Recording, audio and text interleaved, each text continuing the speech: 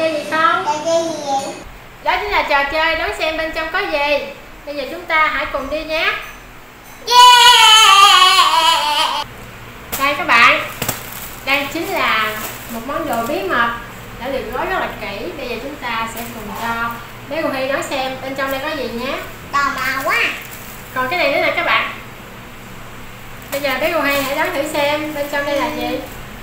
À, bông phải không ta? Phải.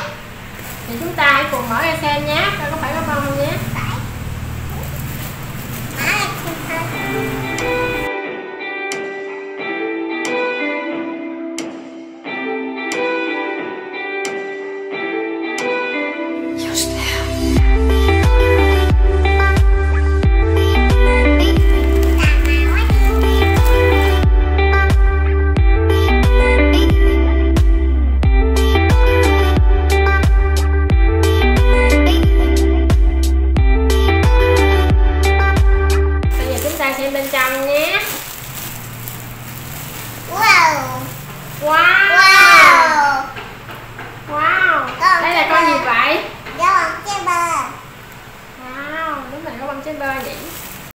Đây là con gì?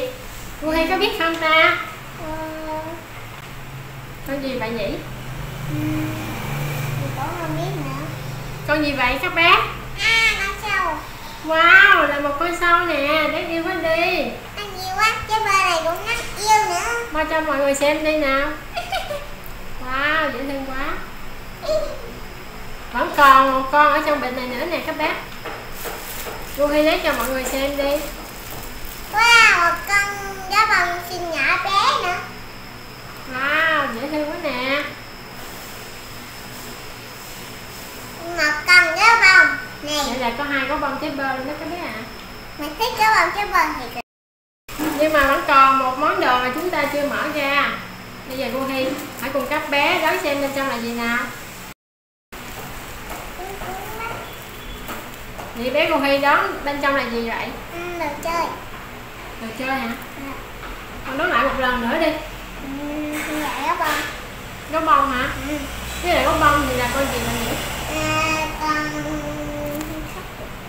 Con sóc chuột hả? ừ. Để chúng ta hãy cùng xem bên trong có phải con sóc chuột không nhé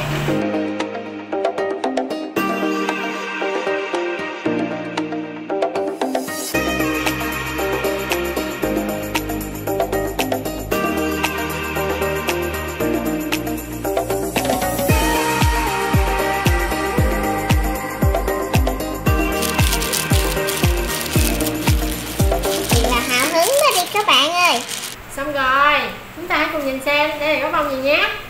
Gấu bông mình thành con thỏ. Đúng rồi, nhưng nó là gấu bông thỏ mặt trời. Rất dễ thương đúng không các bé? Ừ. Bây giờ chúng ta sẽ cùng cho mọi người xem lại tất cả những món đồ trong chiếc bịch bí mật ngày hôm nay nhé. Gấu bông hình trái bơ. Này gấu bông hình trái bơ luôn. Còn đây là gấu bông hình con thỏ. Thỏ mặt trời nhé. Còn đây là gấu bông hình con sâu Thiệt là hào hứng nha các bạn Hào hứng quá à. Thì chúng ta cho mọi người xem gần nha